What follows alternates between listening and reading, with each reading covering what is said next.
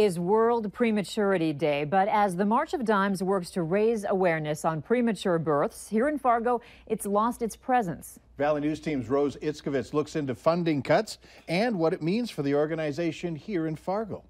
Diane Droege of the March of Dimes says the need for women and babies health programs in North Dakota is large, and that's largely due to disparity. The preterm birth rate among American Indian women in North Dakota is 48% higher than the rate of other women. The March of Dimes wants to start at least three programs to help decrease that gap. One of those is group pregnancy care, but that's one of the things that we are um, looking to fund right now in North Dakota. But that's if funding allows. An anonymous source tells us that nationally, the nonprofit had a goal last year to cut $28 million in spending.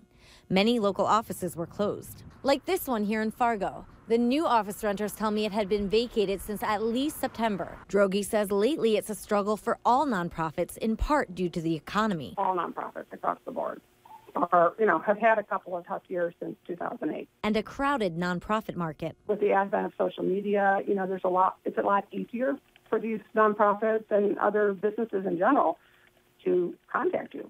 And just the sheer number of nonprofits has gone up. But Droege says cutting costs of buildings helps keep the money where it needs to go. In Fargo, Rose Itzkovitz, Valley News Live. And the March of Dimes says a new maternal child health director for Fargo has been hired. Also, no word on whether another office will open, but we're told many directors are now working virtually on that.